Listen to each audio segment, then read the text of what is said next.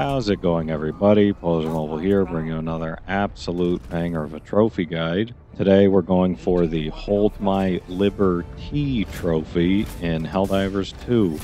First things first, you've got to get to level 8 to unlock the jump pack, and you'll get the expendable anti tank at level 3. Difficulty doesn't really matter here, just throw on the jump pack and the anti tank and head into a level.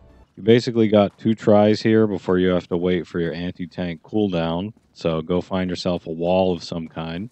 The idea here is to be close enough to the wall to hit yourself with the explosion, but not close enough to kill yourself. You can't aim with the rocket while you're jumping, so you're just going to double tap the cross button to jump into the air, and on the way down, press down that trigger and hope for the best. It took me a few tries just because the rocket would sometimes go sideways or I was just too far away from the wall. So don't be surprised if you don't get it on the first shot.